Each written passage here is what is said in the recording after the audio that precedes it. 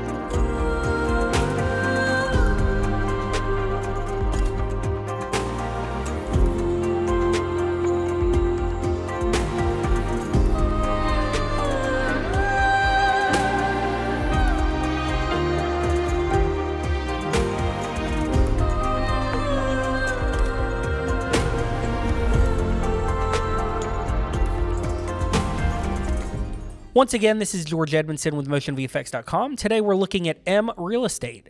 mReal Estate can be located in your titles as well as your transitions.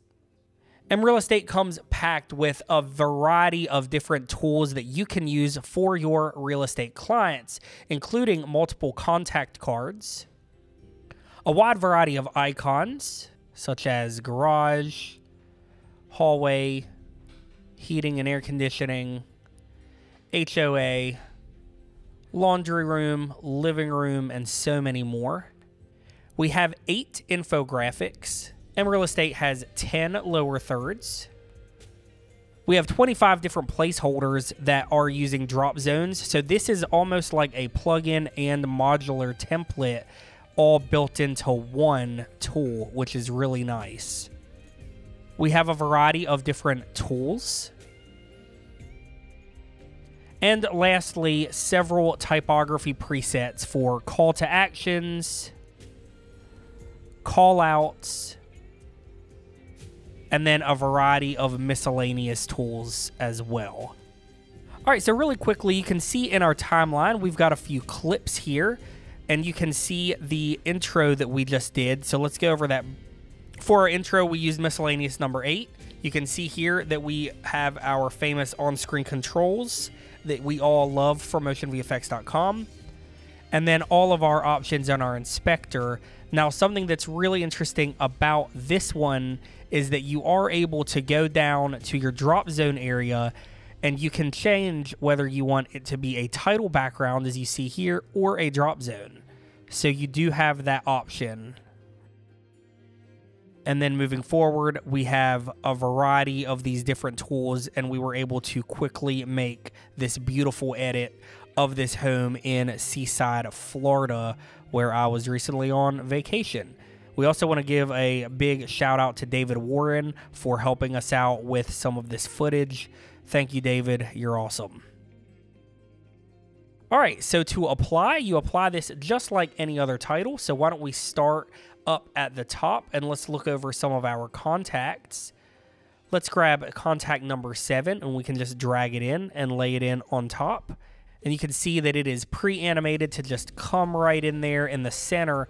Now, for our example, I really liked using this as kind of a bug up at the top. So I just, I just brought that up with our on-screen controls just bring it up here and then we've got that as like a little bug for the real estate agent if we wanted over in our inspector, we can of course change everything as well regarding position, rotation, scale, opacities. We have our subtitle text here that we can toggle on and off and change if you would like. Then we have our description text and our title at the bottom for our real estate company. And then we have our drop zone. So you can toggle that drop zone on and off. If you turn it off, it is just a nice square there or you can toggle it on. Let's apply an image to that drop zone. So let's go over. Let's just click our drop zone and grab this amazingly handsome photo. I don't know who that fella is, but he's a good looking guy. So let's bring that. It's me, by the way. All right, so let's bring that back over in our inspector and we can mess with our drop zone pan on X and Y. And there we go. It is that simple to use any of these contact cards for your clients or for yourself if you are a real estate agent making real estate videos. All right, let's move on down and you can see we have a living room here. So why don't we go over and we can just grab some of our icons. As you can see here, we have one already titled living room. Again, it's just a title, so click it, pick it up and drag it on top of your clip. And it is going to pre-animate right there, right in the center. Let's go ahead and open that up with our on-screen controls. We can change our position, scale, and rotation. And I like using these icons down in the corner here. I think they're really cool. Just a nice little touch so people know exactly what it is that they're looking at. And then if you'd like to use a title over on the left, you can. I thought that was really cool. So we're going to do that here in a second. But again, on screen controls, this one's pretty simple over in our inspector position, rotation, scale, opacity. We can change the width of our lines if we would like on that graphic. We can add a drop shadow if we'd like. We can change the color so that you can be on brand. And then you have all of your options for your shadows, color, opacity, blur, distance, and angle. All right, so since we know that we're in the living room here, why don't we come on down and let's just grab one of our lower thirds. I think that this one is fine, even though it says dining room. No problem. Let's grab it. We're going to bring it in, and it's already over on the left. I'm just going to grab this on-screen control, drag it down so that we are matching. And we're just going to change that over in our inspector to living room. Boom. So now we know that we have our living room text over here and we've got our icon. What I thought was really cool is if you have a bunch of shots and you don't want this living room to be on there the entire time, you could just let that fade out, but leave your icon there so that you know where you are. That's one way to use it. You can use it however you'd like. I thought that was a pretty cool way though. All right, let's move to the outside. This is a great spot to use uh, maybe an infographic if you'd like. So why don't we just grab one of these? We can grab any of them. Let's say that you're displaying the awesome ROI, return on investment for this home. No worries, we have an infographic for that, which I've just applied. You can see that it just kind of pops right in there. Really cool. We have our on-screen controls here. This is a master, a global on-screen control for position, scale, and rotation. We also have the secondary on-screen control for just your graph, a global tool there. And then if we'd like to animate this, it's going to follow the path of each of these on-screen controls. So really nice. Over in our inspector, of course, position, scale, and rotation as always. And then we have our titles that we can toggle on and off and make changes accordingly how you see fit, which is really great. Then we've got a typography shadow toggle that on and off. I would do that if I were using this plugin on this shot just to give a little bit more separation to the background. We can toggle our shapes on and off. So if you don't want those, you can simply do that there. And then if you wanted to keyframe any of these points, you could simply click a keyframe, change your on-screen control, and set it where you'd like it to animate in and out. So really cool, really packed. You can also turn your shadows on for your shapes as well. All right, moving down, there's a lot to unpack in this plugin. So we're in our kitchen there, so why don't we come back over to our icons and let's do that same thing. So why don't we grab our kitchen icon here. We can just bring it in. It's going to animate in really nicely. I'm going to just grab this on-screen control, bring it down into the corner. Let's scale it up just a little bit. And these, all of these icons kind of work the same way.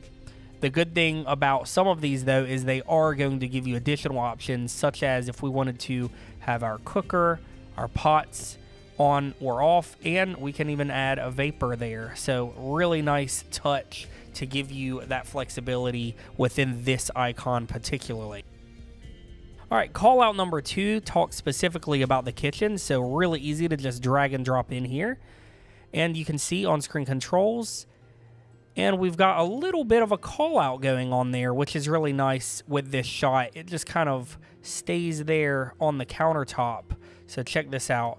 They kind of pop in together. Now we are in our kitchen. We've got the call out. Really nice. Again, over in our inspector, all of our content, position, rotation, scale, our titles. We can toggle on our element there as our call out. We can add content shadow, etc. Over on the stairs here, we used one of our titles. So why don't we go and find title number two. So down in our typography, let's just grab title number two, which was really pretty, really nicely animated there. And it really goes well with the colors of this video as well. And then I just liked having a bit of a fade so we can show that when we go upstairs, this is what you're opening up to. Really beautiful. So again, on-screen controls for position, scale, and rotation. Over in our inspector, if you want to make changes to the title, this is where you do it, as well as your subtitle. You can toggle your element on and off. You can change the color. You can change the opacity and the width. And then if you wanted to make changes to the position of your element only, you would do so here as well in your inspector. So I do like this fade, but why don't we make it a little bit more interesting? I'm going to delete this and then we can go over to our mReal Estate transitions and you can see that we have five that all work really well with these titles that we're using. On this one, I think that I really like transition number five. So we're just going to click that, drag it in between. And it's as simple as that. You can change the background color if you'd like, but that transitions super smoothly, super easily for you. Now, why don't we go back to our placeholders so that we can talk about how these can be used honestly.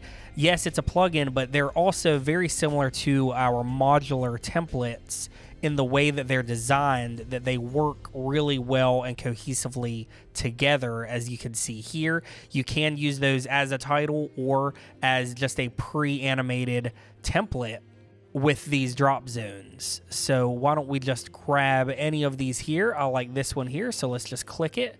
We can drag it in. Now it can come in on top if you would like it, or these look really cool on just a plain simple background, as you can see here. Why don't we just go ahead and drag it on top though, so that it looks a little bit better. Miscellaneous number four, again, on-screen controls for position, scale, and rotation. You can also adjust the position of your floating box here. And you can adjust the height of this as well if you would like so really quickly with those on-screen controls. So we need to add something in our drop zone, right? So let's go ahead and open up our library sidebar. Go back to our miscellaneous and let's click our drop zone well and we can just find any of these clips this one's really nice, so we're just going to go ahead and click that and apply the clip. And really, that's it. It's that simple. That video is playing back nice and smoothly. It looks pretty awesome. Again, mReal Estate is now available on motionvfx.com for Final Cut Pro. Be sure to subscribe, and we'll see you on the next one.